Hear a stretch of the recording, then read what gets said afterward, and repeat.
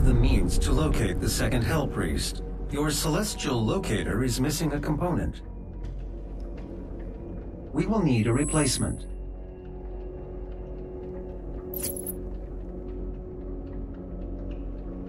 I've completed the redesign of your equipment launcher.